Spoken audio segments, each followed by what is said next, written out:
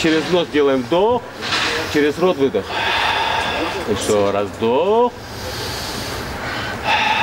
выдох. Субботнее утро жители дома номер два по улице Чехова начали с дыхательной гимнастики. Они не занимаются йогой, просто решили, день физкультурника нужно начать активно.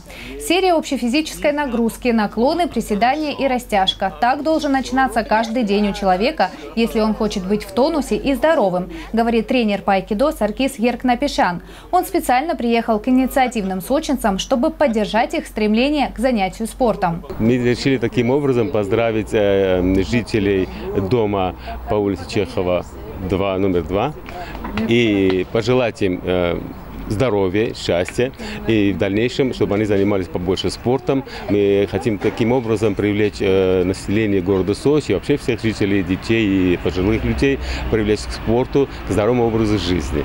Добровольно подняться в 8 утра и выйти на площадку, чтобы зарядиться позитивным настроением и размять мышцы, естественно, решили не все. Но, как уверяют жители, подобные оздоровительные процедуры они проводят не только в день физкультурника. Жители прежде всего с радостью вышли и в такой день, и они выходят э, часто э, без праздников, то есть у них, когда позволяет погода, время, они периодически э, здесь встречаются на площадке, с детьми проводят э, всевозможные занятия сп- спортивные, потом игровые занятия.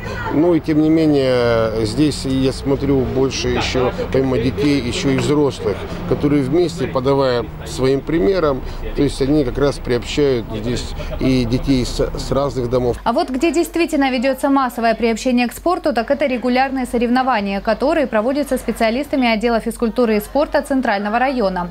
В день физкультурника традиционно в парке «Ривьера» проходят турниры среди школьников, ветеранов спорта и людей с инвалидностью. Диагноз ДЦП не помешал Александру Лысенко полюбить спорт. И пусть здесь соревнуется не по своей дисциплине, но интерес к победе есть всегда. Мне очень приятно, что такие соревнования вообще есть. Оно дает прилив сил, прилив бодрости. Я вообще до этого занимался тяжелой атлетикой.